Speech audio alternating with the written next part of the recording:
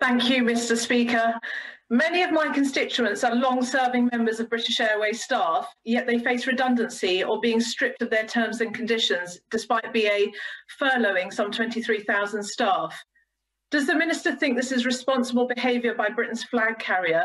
What pressure is she bringing to bear on the company, and will she guarantee that any bailout comes with stringent and binding conditions on reducing carbon emissions? Minister. I thank the Honourable Lady for her question, and I understand it's a worrying time for airline staff and their families. I've been speaking regularly with companies across the sector to encourage them to draw down on the unprecedented support package.